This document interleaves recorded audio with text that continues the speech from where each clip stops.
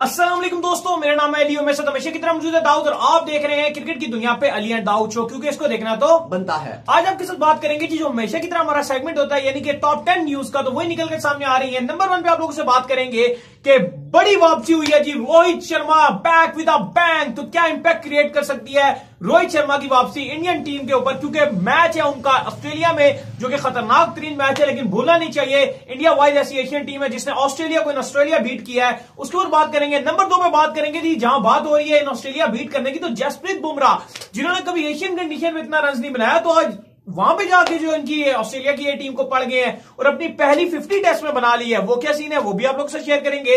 इसके बाद जो खबर आ रही है जी, वो हम आप लोगों को ये बताने जा रहे हैं कि आईपीएल की जो अगली टीम है, उसके बारे में दादा ने फाइनल कर दिया कि क्या होने जा रहा है। क्या वो आएगी या नहीं आएगी? वो भी आप लोग से शेयर करेंगे। इसके बाद क्या खबर है जी हमारे पास? आकाश चोपड़ा ने पंत के हवाले से कुछ कहा है। पंत के ऊपर बड़ी स्टेटमेंट आई है वो भी आप लोग से शेयर करेंगे। तो अगर आप आए हमारे चैनल पर नहीं तो चैनल को सब्सक्राइब करके साथ लेकर बेल आइकन को बजाना। ना भूलिएगा। और साथ ही में साथ ही में जाइए हमारे फेसबुक पेज को भी फॉलो कीजिए क्योंकि लव यू चुम्मा। डिस्क्रिप्शन में आपको हाँ, मिलेगा। तो बात का आगाज़ करते हैं नंबर वन खबर को लेकर जो कि निकल कर सामने आ रही है। तो दो फाइनली रोहित शर्मा ने टेस्ट जो है वो क्लियर कर लिया अपना फिटनेस टेस्ट और वो जा रहे हैं इन ऑस्ट्रेलिया और दो टेस्टों के बाद तीसरे टेस्ट में वो शामिल होंगे बिल्कुल पहले टेस्ट में विराट कोहली शामिल होंगे एडलेट का टेस्ट होगा डेविड वार्नर वहाँ पर मौजूद। सबसे हाईली जो व्यू करने वाला है वो पहला टेस्ट ही होगा। पहला टेस्ट ही सबसे बड़ा टेस्ट है और भारत के लिए बहुत इंपॉर्टेंट है डे नाइट टेस्ट है और डेविड वार्नर की गैर मौजूदगी में स्टीवन स्मिथ तक घबराए हुए हैं वो कह रहे हैं कि हम डेविड की गैर मौजूदगी में हम चैलेंज होंगे ऑस्ट्रेलिया ऑस्ट्रेलिया में चैलेंज होगा। वो एक अलग भी सिनेरियो काफ़ी उसके बारे में ऑस्ट्रेलियन मीडिया की भी खबरें आ रही हैं वो भी रिलीज़ करेंगे आपके साथ। लेकिन बड़ी खबर यही है कि रोहित शर्मा ने फिटनेस टेस्ट पास कर लिया है और रोहित शर्मा जा रहे हैं ऑस्ट्रेलिया 14 दिसंबर को 14 दिसंबर को उनका जहाज़ उड़ेगा। लेकिन अली, मसला यह आ रहा है कि बीसीसीआई ने रिक्वेस्ट भी की थी क्रिकेट ऑस्ट्रेलिया से कि हमें 14 दिन क्वारंटीन जो है वो ना करना पड़े रोहित शर्मा को और कुछ चार, पाँच, छह दिन आप उनको रख लें आइसोलेशन में और उसके बाद उनको प्रैक्टिस करने की इजाज़त दे दी जाए। लेकिन ऑस्ट्रेलियन क्रिकेट बोर्ड ने ये रिजेक्ट कर दी थी बीसीसीआई की बात। अब वो चौदह को जाएँगे तो फिर आप 28 तक जो है वो 28 दिसंबर तक जो है वो वापस नेट्स में आएँगे। तो दो टेस्ट मैचेस जो है पहला तो चले विराट होंगे। दूसरा जो टेस्ट मैच है वो टीम इंडिया पे भारी हो सकता है क्योंकि ना रोहित होंगे ना विराट होंगे। तीसरे टेस्ट में तो चले रोहित शर्मा फिर आ जाएँगे विराट तो होंगे नहीं। एक्चुअली एक और खबर यह भी आ रही थी कि विराट चाह रहे थे कि चौथा टेस्ट जो है उसमें वो डायरेक्ट ज्वाइनिंग कर लें। क्योंकि उस टाइम तक अनुष्का की जो है वो होप सो की डिलीवरी हो चुकी होगी जो पेटर्निटी लीव्स में गए हुए थे वो काम हो जाएगा। लेकिन ऑस्ट्रेलिया के क्वारंटीन के रूल्स इतने सख्त हैं इतने हार्ड हैं कि उनको चौदह दिन जब गुजारना पड़ जाएगा तो फिर वो चौथा टेस्ट जो है वो स्टार्ट हो जाएगा। तो इसलिए विराट जो है वो खाली इस स्ट्रिक्ट रूल्स की वजह से जो है वो पूरा फिर आगे पहले टेस्ट के बाद तीनों टेस्ट जो है वो मिस कर रहे हैं। लेकिन बहुत बड़ी और बहुत अच्छी खबर है स्पेशली इंडियन फैंस के लिए रोहित में रोहित शर्मा के फैंस के लिए कि रोहित शर्मा तीसरे और चौथे टेस्ट में इन एक्शन नज़र आएँगे और देखिए अली मैं बात वही कर रहा था कि इंपॉर्टेंट ये है कि चलें अगर आप शायद रोहित की जो बैटिंग है शायद हम्म। अब आप वो नहीं कह सकते कि उसकी फॉर्म उनकी क्या होगी इतने दिन वो बैठे रहे हैं नहीं खेला डायरेक्ट रेड बॉल क्रिकेट खेलना प्रैक्टिस मैच उनको नहीं मिल रहे तो किस फॉर्म में होंगे ये बात अलग है लेकिन रोहित की प्रेजेंस इसलिए इंपॉर्टेंट है कि विराट को ऐसा कैप्टन बहुत ज़्यादा मिस किया जाएगा। हाँ। अब विराट अगर ऐसा कैप्टन नहीं होती है तो, तो कैप्टन कौन होगा? नहीं रहाणे कैप्टन कैप्टन होंगे विदाउट एनी डाउट वही तीन टेस्ट मैचेस में लीड करेंगे। आज भी जो प्रैक्टिस मैच खेला जा रहा था उसमें भी रहाणे कप्तानी कर रहे थे विराट नहीं आए। लेकिन दाऊद जब रोहित शर्मा आ जाएँगे तो मेरा ख्याल है टीम इंडिया को पूरा पूरा सहारा मिलेगा। मैं वही बात कर रहा हूँ कि रहाने को बहुत सारा मिलेगा। चले जाते तो फिर और साथ रोहित शर्मा भी ना होते तो फिर टीम इंडिया बिसाखियों पे आ जाती। लेकिन अब रोहित शर्मा आए और उन्होंने आके टांग संभाली है इंडिया की। बिल्कुल रहाने को बहुत हेल्प मिलेगी। ठीक है टेस्ट फॉर्मेट डिफरेंट है वो टी ट्वेंटी फॉर्मेट के बेहतरीन कप्तान है रोहित मुंबई इंडियंस को जितवाते रहते हैं। टीम इंडिया को उन्होंने बहुत अच्छा करके दिया जब भी व्हाइट बॉल क्रिकेट में उन्होंने कप्तानी किया लेकिन रेड बॉल क्रिकेट में रोहित की कप्तानी बेशक एक ऐसा चले आप ले लें कि एक सा सीनियर प्लेयर रहाने को डिसीज़न मेकिंग में हेल्प मिलेगी। ऑस्ट्रेलिया में ऑस्ट्रेलियन मीडिया इतना दबाव क्रिएट करती है।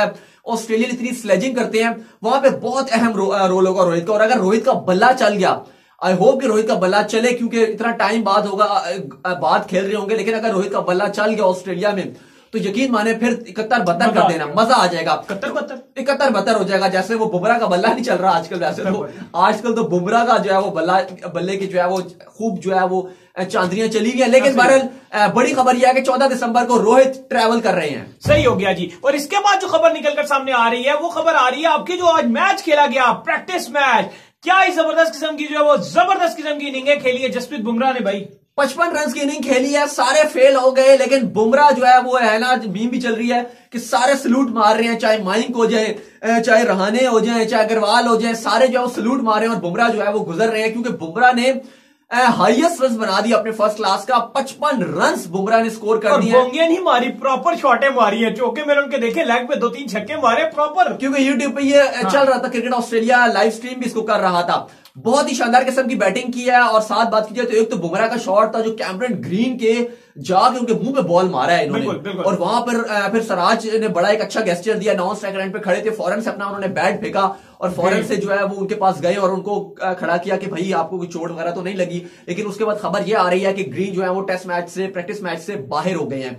एक्चुअली जब से वो फिल उनका हुआ है ना उसके बाद से थोड़ा सा थोड़ा ऑस्ट्रेलिया बहुत घबराया बहुत ज़्यादा घबराए हुए रहते हैं सारी सारी क्रिकेट की दुनिया में भी हाँ। ऐसा ही चल रहा है कि उनके जाने के बाद जो है अब से अब तक यही चल रहा है कि तमाम लोग बड़ा ख्याल करते हैं बिल्कुल। लेकिन शुएब अख्तर की याद फिर ताज़ा होती है जब वो थे वो तो कुछ अलग ही उस टाइम ऐसा कोई हादसा पेश नहीं आया था ना इसलिए हाँ। वो इस तरह की हरकत करते थे लेकिन अब जो है वो अब लोग काफ़ी जो है वो एक दूसरे का बहुत ध्यान रखा जाता है बहरहाल अगर बाकी बात की जाए तो किसी ने कुछ खास रन नहीं बनाए पृथ्वी शॉ और ने और इन्होंने शुभमन गिल ने कुछ रन बनाए थे, लेकिन कुछ खास काम नहीं आ सके क्योंकि एक सौ चौरानवे रन बोर्ड पे लगाए टीम इंडिया ने।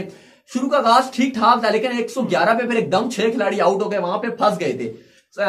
एंड इतना अच्छा नहीं हो सका उसकी वजह यह थी कि भाई अग्रवाल ने रन नहीं अग्रवाल दो रन बनाकर आउट हुए रहाने ने चार रन बनाए पंथ ने जो है वो पाँच बनाए, सहा ने जो है वो अंडा बनाया।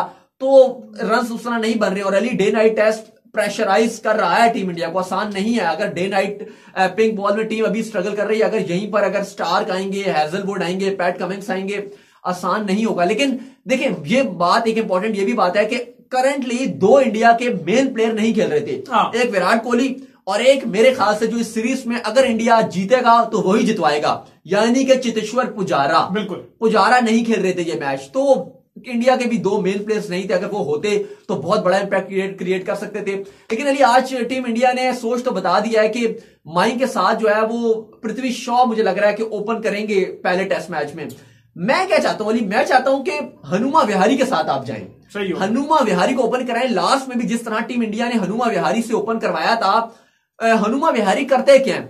वो नया बॉल झेल लेते हैं। करते हैं उसको। बिल्कुल चाहे वो ऑस्ट्रेलिया का जो ज़्यादातर स्ट्रेंथ रहती है वो शुरू के ओवर्स में ऑस्ट्रेलिया बहुत ज़्यादा अटैक करता है। और अक्सर हमने देखा है कि जो भी टीमें वहाँ जाके खेलती हैं वो शुरू के 15 से 20 ओवर में चार विकेटें हाँ। गिर, गिरा चुकी होती है और वो फिर बैक एंड पे हो जाती है। अब शुभमन गिल या पृथ्वी शॉ क्या कर रहे हैं? गिल जज्बाती हो जाते ये तीन तीन चौके मार रहे हैं। आज भी उन्होंने मारे दो दो तीन तीन चौके मारे थे टी ट्वेंटी वनडे के लिए।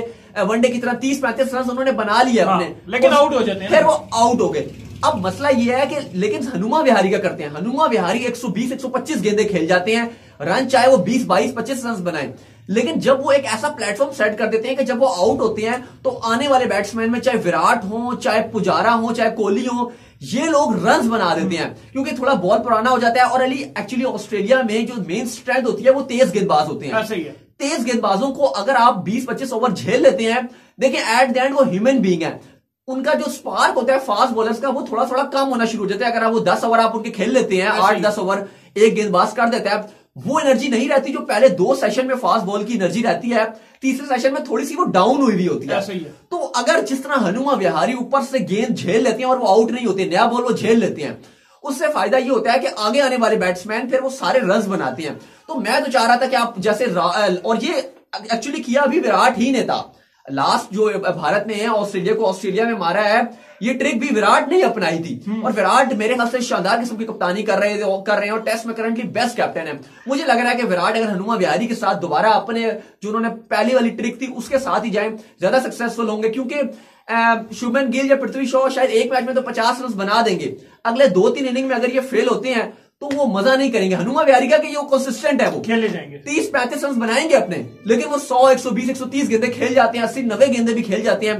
वहाँ से क्या होता है जो ऊपर वाला जो गेंदे जो विकटें आपको मिलनी होती है वो वो रिफ्यूज कर देते हैं बहम सही हो गया। इसके बाद जो खबर आ रही थी वो आकाश चोपड़ा के हवाले से निकलकर सामने आ रही है। उन्होंने ऋषभ पंत जो है उनको कहा है कि ये तो सिर्फ़ जो है वो करने गए हैं टूर करने गए हैं। बिल्कुल आकाश चोपड़ा ने कहा कि ऋषभ पंत जो है वो खाली ऑस्ट्रेलिया जो है वो अभी तक सिर्फ़ सैर तफरी करने गए हैं क्योंकि ना उनको चांस मिल रहा है ना ओडीआई में खिलाया गया ना टी ट्वेंटी में वो थे टेस्ट में चले हैं। लेकिन फ़िलहाल उनका कहना है कि वो टूरिस्ट है। लेकिन मेरे ख्याल से उन, उनको हमें पता था कि ओडीआई टी ट्वेंटी में वो हाँ, नहीं खेलेंगे।